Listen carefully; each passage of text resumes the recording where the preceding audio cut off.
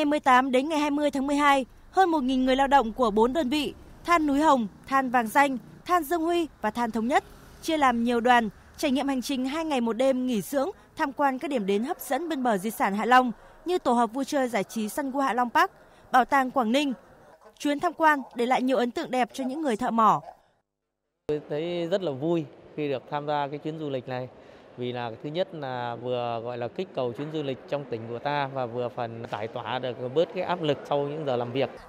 Tiếp tục đồng hành với tỉnh Quảng Ninh kích cầu du lịch lần 2, Tập đoàn Công nghiệp Than khoáng sản Việt Nam đã bổ sung kế hoạch nghỉ dưỡng cho khoảng 33.000 người lao động hầm lò và lao động vận hành các thiết bị chủ yếu trên các mỏ lộ thiên.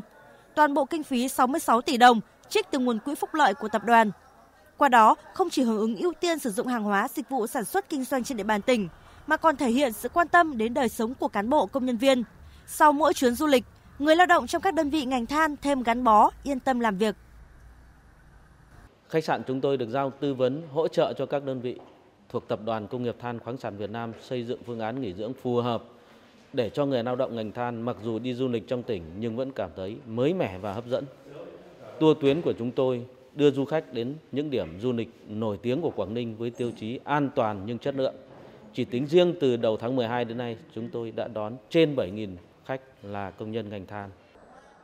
Cùng với nỗ lực kiểm soát tốt dịch bệnh COVID-19, đảm bảo an toàn cho du khách, tỉnh Quảng Ninh đang tập trung các giải pháp thúc đẩy khôi phục và tăng trưởng du lịch, khuyến khích người dân đi du lịch tại những danh lam thắng cảnh trong tỉnh. Qua đó, tiếp tục xây dựng hình ảnh điểm đến an toàn, hấp dẫn và đóng góp vào tăng trưởng chung của tỉnh.